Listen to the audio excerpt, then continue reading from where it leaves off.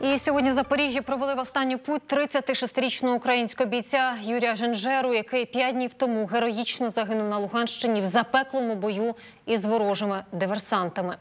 28 липня півтора десятка бойовиків біля селища Кримське атакували наш опорник, де тоді чергувало всього четверо армійців.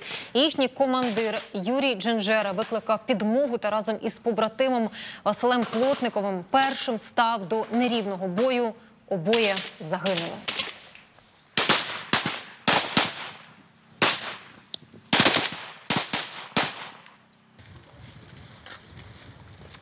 Попрощатися зі своїм командиром до Запоріжжя приїхав побратим Юрія Ілля, з яким вони цілий рік пліч-опліч оборонили схід.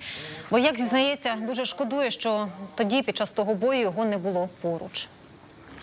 Вот мне 19 лет, он был ко мне как отец. Всегда помогал, учил меня жизни. Это очень тяжело, честно скажу. Мы с ним вместе на ВОПе все стояли.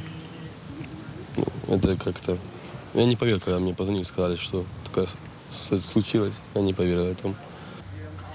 Юрія Дженжеру поховали на одному з місцевих цвинтарів. У вояка лишилася дружина та 13-річна донька.